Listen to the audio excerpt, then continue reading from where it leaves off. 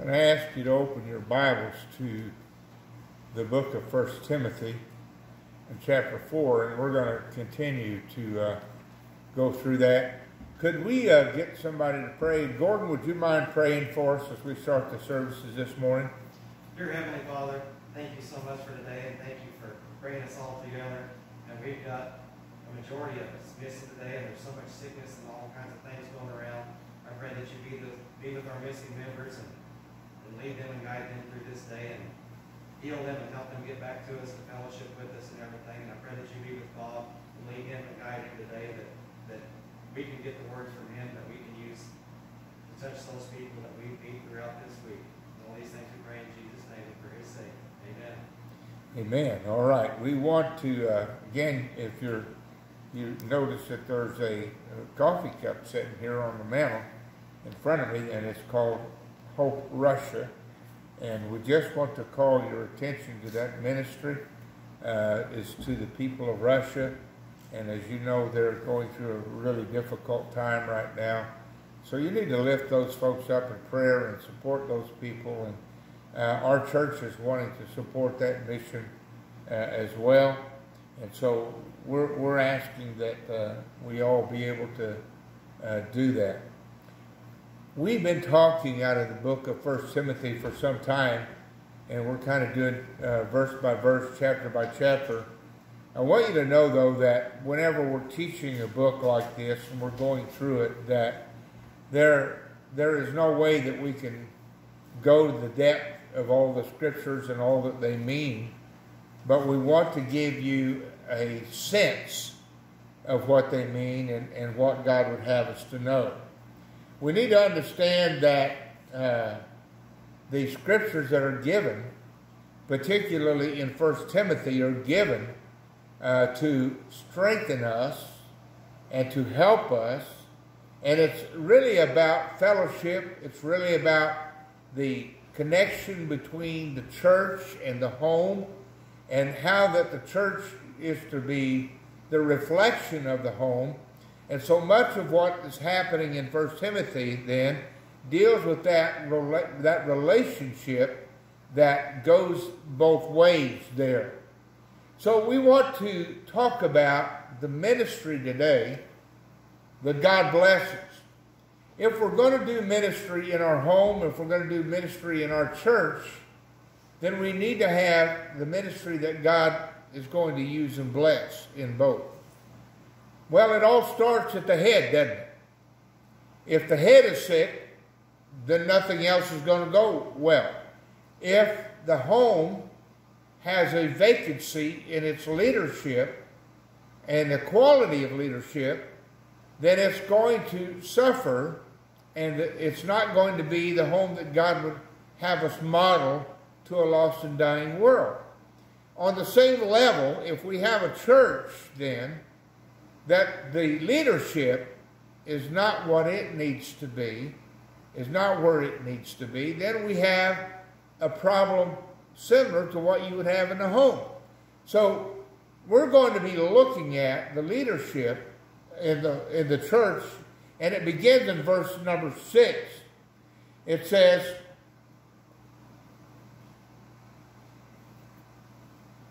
I instruct you, the brethren, in these things.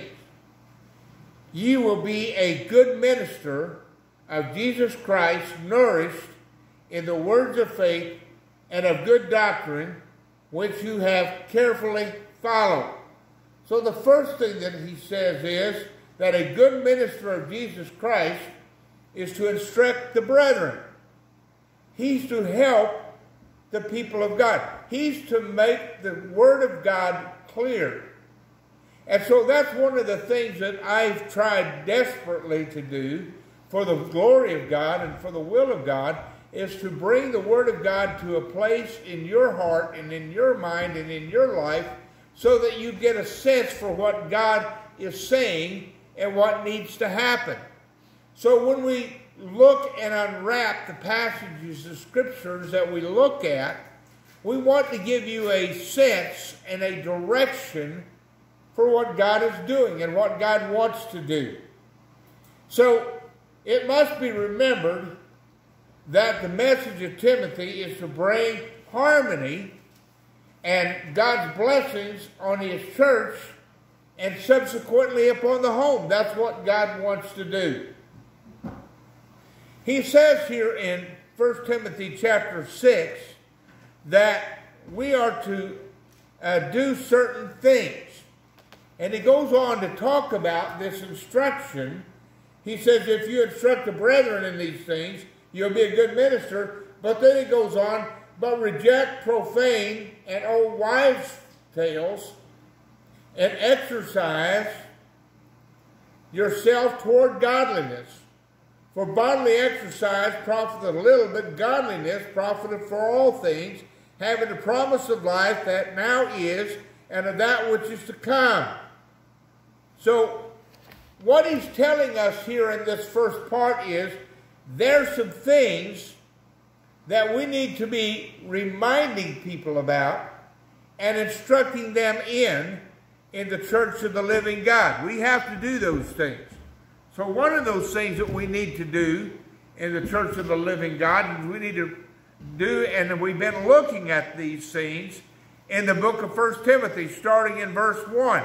And if you look at what all we've been looking at in the last four chapters or so, here's what God's message and here's what the instruction has brought about.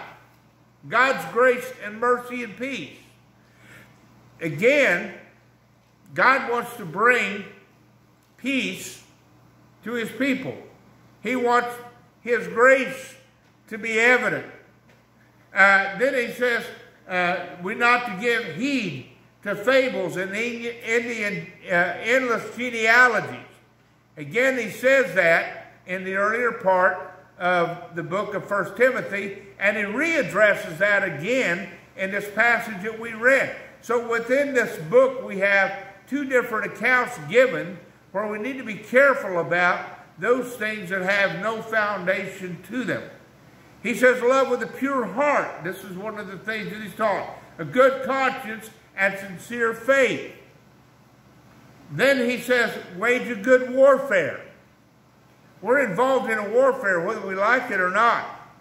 That's why Ephesians tells us to put on the whole armor of God, that you might be able to, you know, withstand the wiles of the devil and all the things that the devil is doing. So we are in a warfare. Well, what do we do about that? Well, Timothy says there's some things we need to do for each other. We need to, we need to use supplications. We need to use prayers, intercessions, and giving thanks, having a thankful spirit. Those are some things that we need to do. Then he talked about the qualifications for an overseer, for deacons. So these are the, some of the instructions that we've looked at thus far in the book of First Timothy that you and I need to hold in our mind that we need to know what God is doing that. Now, when God calls, he equips those uh, he has called and he teaches them and he makes in them through their calling a hunger for the Word of God. I was talking to a pastor some time ago who was just starting out in the ministry. He had just been called into the ministry. And one of the statements he made to me was, I don't like to read. And I looked at him with a sincere and kind look and said, that will change. I don't believe that if you're the God-called man that God wants you to be, I don't think you can get away from the need to read. You're going to have to find out more than what is resting on the surface with the Word of God if you're going to make sense out of it to the people of God. That's going to require some reading. That's going to require some study. That's going to require some diligence on our part. So there becomes a hungering and a thirsting for the Word of God. Now, I'm not setting myself up as an example, but I don't know what everybody else does. That's none of my business. But as for me, I get up every morning, usually around 5 o'clock a.m., sometimes earlier, and I go to my study and I start studying the Word of God and I start working with the Word of God and I go into my prayer and my worship in those times with God. There's another pastor in our area that I visited with, and I was telling him about this, and he has several churches out of one church in our area here. And he said he has the same problem. He can't sleep all night long. And God wakes him up early in the morning with all this stuff on his mind, and he has to go do something with that. Well, if you read the book of Psalms and you look at it carefully, David talks about early in the morning. It seems like God gets our attention early in the morning. Now, there are people who are not good morning people. in other words, they don't wake up. I had a guy tell me one time, he says, I have a contract with my heart. I may get up at 6 o'clock, but it doesn't start beating till 10. You know, so we have those kind of things going on in our lives, those kind of things that happen in our lives. But a continual feeding on the truths of Scripture is essential to the health of all believers, but this is especially true to one who's going to be an overseer, to one who's going to be a pastor, who's going to lead the church. He has to spend the time knowing God's will through His Word. He can't just wing it. He has to know something. Uh, my wife and I talk a lot, but she likes what for me to do what we would call extemporaneous type preaching where you just get up, open the Bible, and let her fly. I remember when I was in Bible college that a professor that I had said that he knew a lot of preachers who did that, who just read, who just went to the scriptures and just opened it, wherever it fell open, he started preaching from that, and it was all extemporaneous. And he said, I've been in some of those services, and he said most of the time when that happens, the leader of that particular service has filled his foot with his, his mouth with his foot. and so he, he wasn't too fond of this idea of extemporaneous preaching. But extemporaneous preaching is not extemporaneous preaching in that you just go wherever you want do whatever you want. You have to read. You have to study. You have to kind of have an idea what God wants you to say and do, and you've got to get into the Word. And so it's not extemporaneous. You may not be working from a set of notes, but you are working from the Spirit of God, what God has laid on your heart. You have studied and you have read and you have filled your heart so that you can go and speak to the people with the overflow of God's blessings from His Word to them.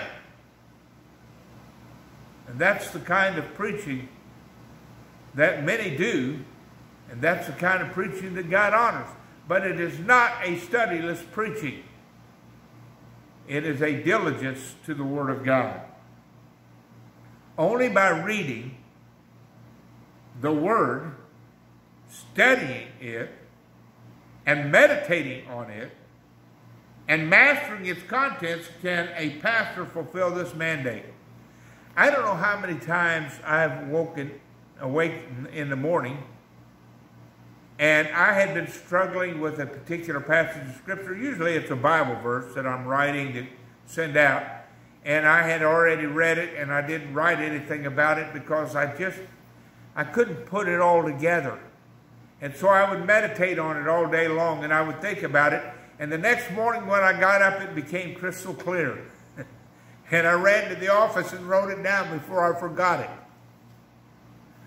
That's meditating on the scriptures. That's chewing on the scriptures. That's like a like a preacher once said, like a cow chewing its cud. It's taking the word of God and working it over in your heart and your mind until God gives you the sense of it, until you begin to see what it is that God wants from that particular passage of Scripture.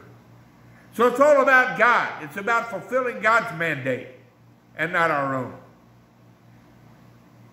he talks about here the word of faith in this passage of Scripture. What is the word of faith? Well, that's Scripture that takes the priority over everything else. What does the Scripture say in Hebrews? Doesn't it say that the just shall live by what? By faith, right? Well, then if you're going to live by faith, you've got to know what it is, right? So that if you're going to know what faith is, somebody has got to give you the word of faith.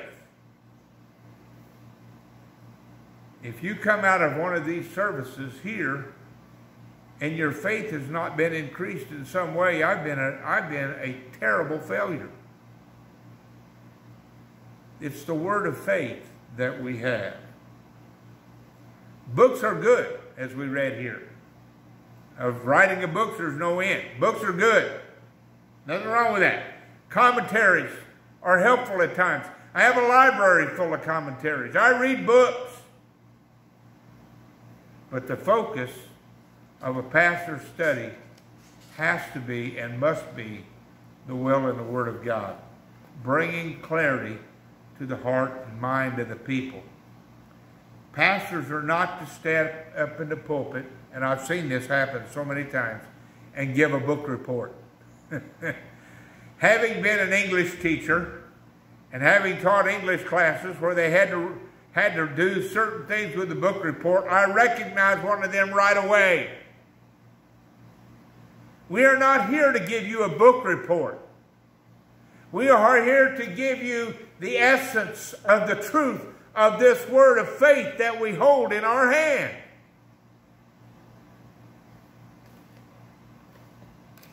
You see, God has to give us his thoughts into our heart and mind because what God wants here, he may not want St. Louis. Amen? What God wants us to know and how he wants us to work may be different in a small church as to a church of thousands. So God does his ministry and tailor makes it and equips it through the leadership where he has planted a church, established a church for his honor and glory. They're not the same. Every now and then I'll get a, a text message or somebody will call me, and, and they're just kidding, of course, but it's amazing how that happens. And they will say, Have you been in contact with Dr. David Jeremiah? He said almost the same thing you did. I said, Well, no, I haven't talked to him, but good for him. Why is that? How does that happen?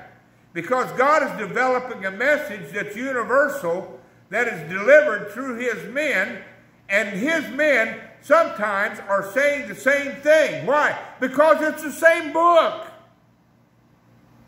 It's the same message. It's difficult to study the Word of God in this way. It's an intense study. I have word study books all around. I, I do word studies every day to make sure that I am not saying something that is not in accordance with what God has written.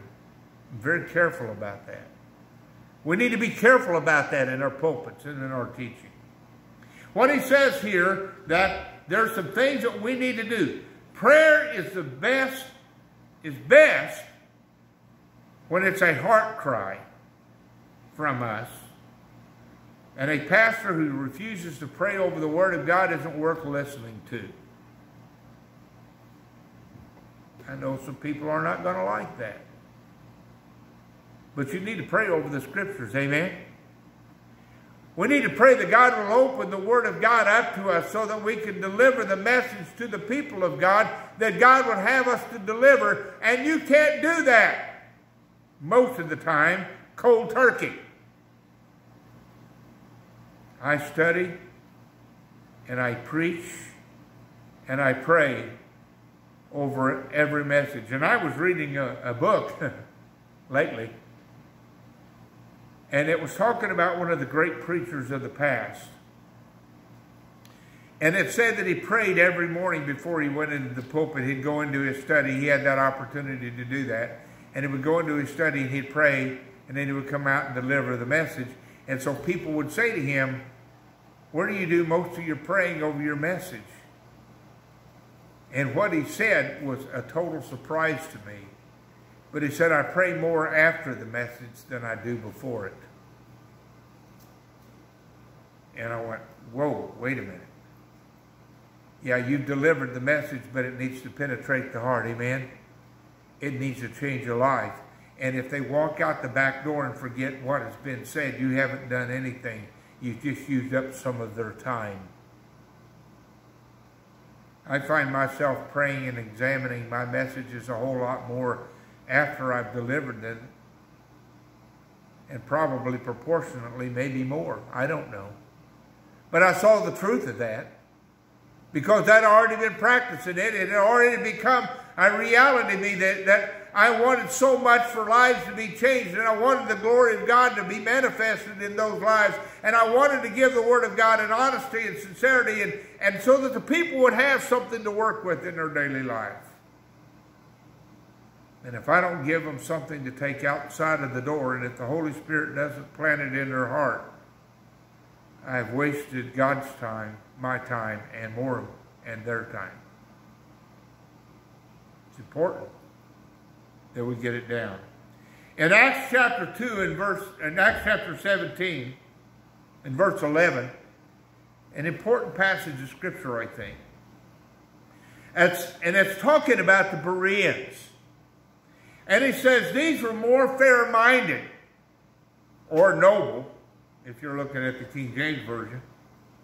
These were more fair-minded than those in Thessalonica in that they received the word with all readiness and searched the scriptures daily to find out whether these things were so. You know what?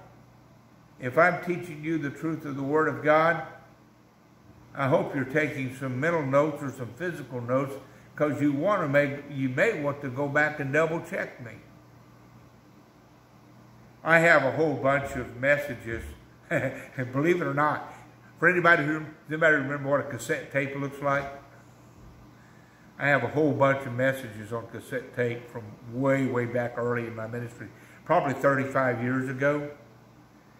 And what sometime when I'm really feeling low and I really need something to chide with my spirit, I'll pick up one of those cassettes and listen to it and shake my head and say, where did that guy come from and why didn't those people throw songbooks at him?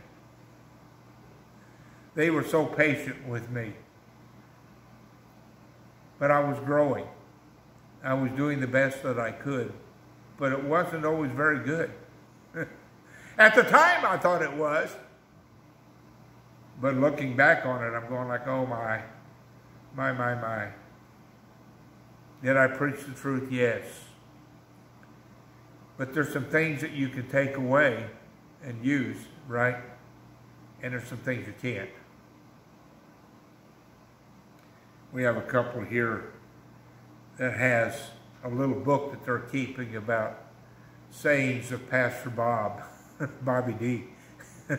some of those little things I come up with that they've never heard before are probably not worth repeating, but they write them down. We have to have an approach to the Word of God with a readiness to discover that truth for ourselves. I can teach you and preach you the truth, but until you discover it for yourself, it's not going to impact your life very much. These people in Berea not only heard the word that, that the Apostle Paul and Barabbas and other, uh, Barabbas, I mean, Barnabas and others preached, okay? They heard the word,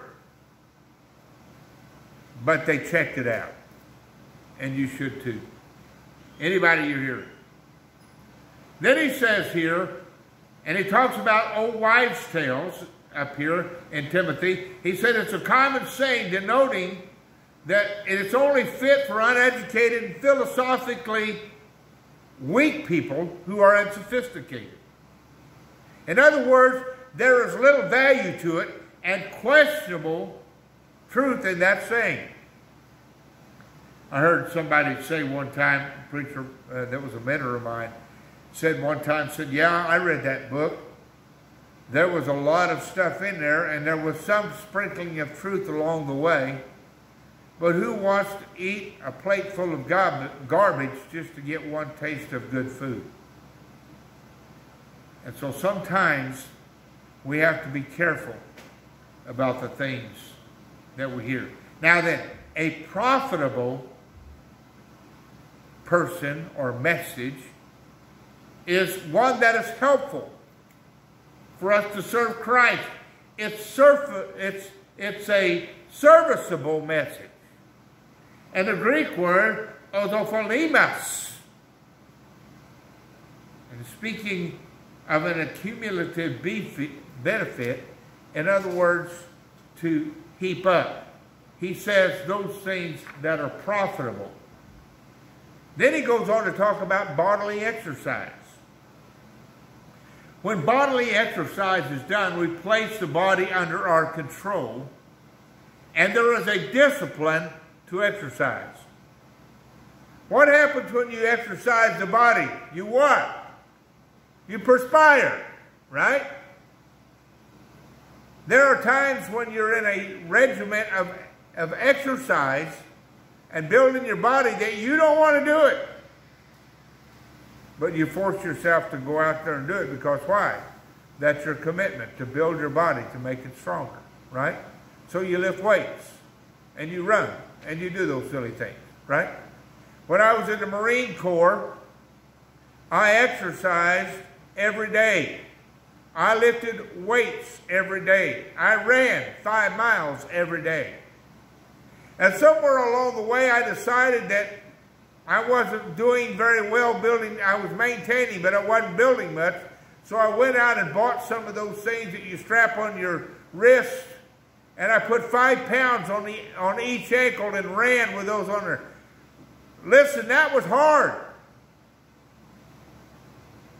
But I wanted to be in top physical shape. And the only way to do that was to lift weights, run, and stress out my body. So he says that's a little bit of profit. It's a discipline that we learn. There are benefits to self-discipline.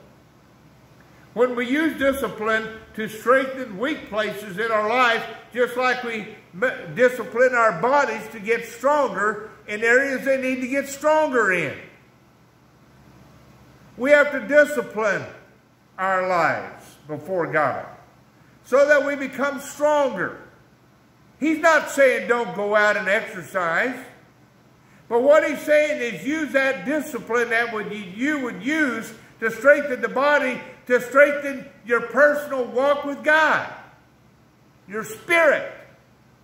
Use that discipline to make yourself stronger in the work of God and the will of God and the purpose of God and the design of God in your life. Spiritual discipline is more valuable than those things that we do for the body. The body is not going to last forever. I don't know if you know that or not. There are a whole lot of things I could do with this body when I was 28, 21, 35, 55, 62 that I can't do now because my body won't cooperate.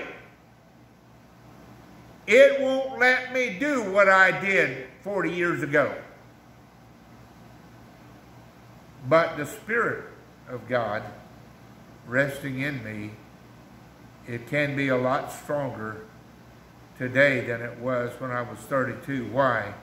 Because I have disciplined myself to study the Word of God, to know the Word of God, to teach the Word of God, to live the Word of God. It's a practical event that happens every day of my life. The Bereans were more noble because that's what they did. Spiritual discipline is valuable. It takes a disciplined spirit to follow after God by studying His Word and telling the body to do those things that it is hard to do sometimes or most of the time. In other words, to drag ourselves away from something that we're enjoying to do something that we really don't want to do. There are a lot of people who like to watch baseball. I'm one of those. And there are times that I have to turn off the TV set and go to my study and do those things that need to be done more than the things that I want to do. do you understand that? You have to do that. If you don't do that, you will not have the spiritual stamina that you will need at some point in your life. You will be spiritually deficient and untrained, and you will collapse under the weight that comes before you. You have to build the spirit man through the Word of God. He says in verse 9, This is a faithful saying and worthy of all acceptance. When I first read that, I'm going like, what? What does that mean? That doesn't seem to fit anywhere. Is it just like somewhere Paul says in parentheses, hey, this is something you ought to hear? Something you ought to pay attention to. Next time, we're going to tell you what that means. Because it is not readily evident. That's one of those things I had to go to bed on. And, and actually a couple of days, and then all of a sudden God turned on the light and said, Don't you see that? And I said, Now I see it. It's not what you think it is. Thank God for His Word. We need to be committed to it. God will bless your life if you commit yourself to the Word of God. God will bless your home if you will commit yourself to the Word of God. God will bless your life and give you spiritual strength if you'll study the Word of God. If you ignore it, you will be weak. And you will not be able to withstand the trials that come your way, those spiritual trials that are sure to come. Churches who are not built on the Word of God fold when the pressure comes. Will you be faithful or will you not be faithful? Will you follow God or will you not follow God? Will you go to church when you're supposed to go to church or will you stay home? What are you going to do? It all depends on the spiritual climate that you have. Is there a hunger and thirst for the Word of God? I don't believe there's anybody who is a child of God who doesn't have a certain amount of hunger and thirst for the Word of God. I close with this. What's your favorite food? And when that food is set before you, how much of that do you eat before you're done?